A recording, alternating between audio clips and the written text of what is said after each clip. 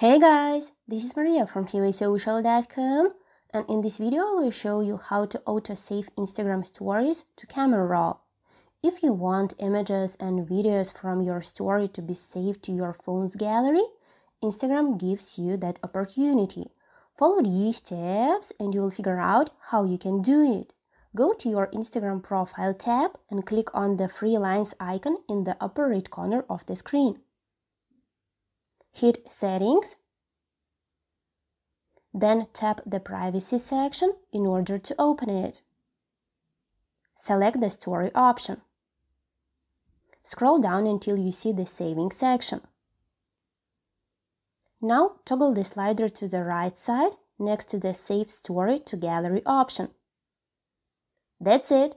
I hope this guide was helpful and you were able to auto-save Instagram stories to camera roll. Don't forget to like this video and visit us at freewaysocial.com.